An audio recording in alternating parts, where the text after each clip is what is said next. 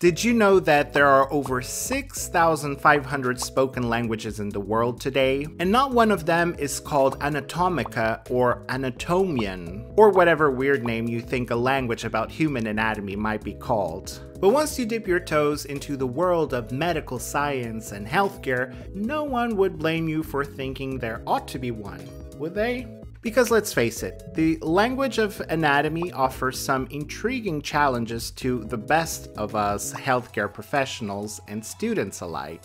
In fact, don't think many would argue that learning this complicated lingo of our body is not all that different from learning a foreign language. And just like any other language, the language of human anatomy is an ever changing, growing means of communication for healthcare professionals. New terms are constantly being added, and old ones are being updated or replaced to provide more specific information. It's difficult to keep up. Now, the key to stay on top of all of this is to first wrap our minds around the particular code or order which holds anatomical terminology together. It's not just about learning individual words or even groups of words, it's also about breaking these words down and taking a look at the detail. And that's exactly why we're here.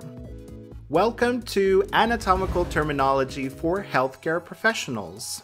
Over the course of this dedicated series, we're going to be exploring the anatomical terminology of each and every system of the human body. You're going to learn how to look past an overwhelming anatomical term as a whole and rather get a grasp of the meaning of its word parts and how those parts work in combination with one another. Once you master this, it's going to be possible for you to tackle the most mind-bending of terms you're likely to encounter in a healthcare profession. No longer you need to feel like you're trapped in a Mary Poppins nightmare every time you see words you can't even begin to pronounce, let alone memorize or understand.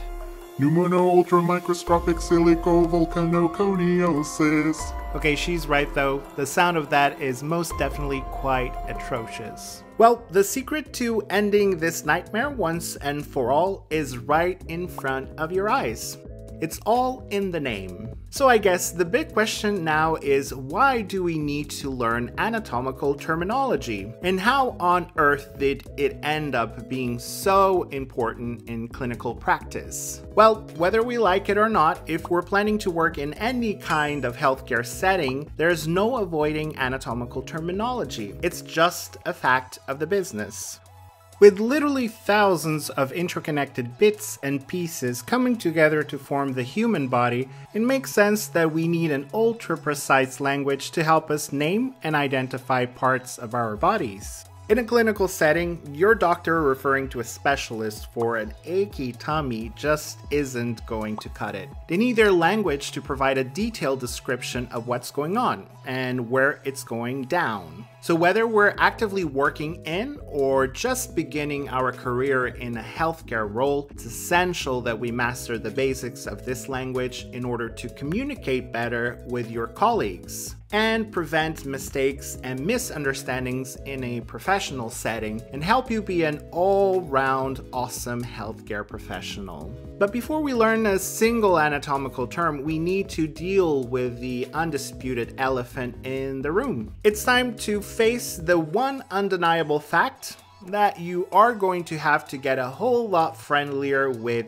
the Greek and Latin languages. Yes, they are your new best friends. Period. The purpose of these languages is not to actually confuse you, but rather increase precision in how we describe things and actually reduce mistakes. It all comes from the fact that the study of human anatomy is considered to be the oldest of the defined medical fields and was first explored back in the times of ancient Greece, leading up to the height of the Roman Empire. This is why the terminology we use today mostly stems from Greek and Latin. These were simply the major languages of those times. As anatomy is the oldest of the medical sciences, its terminology has served as a cornerstone for just about every healthcare discipline developed from it, explaining why it's so important in modern practice. So that's enough history for today. I think it's time to start this series and debunk the age old myth that anatomical terminology is too difficult to master. In fact, I'm going to take a bet right now. If you stick with us for this course and learn how to take our systematic approach to learning anatomical and medical terminology, you might even admit at the end of this series that learning this language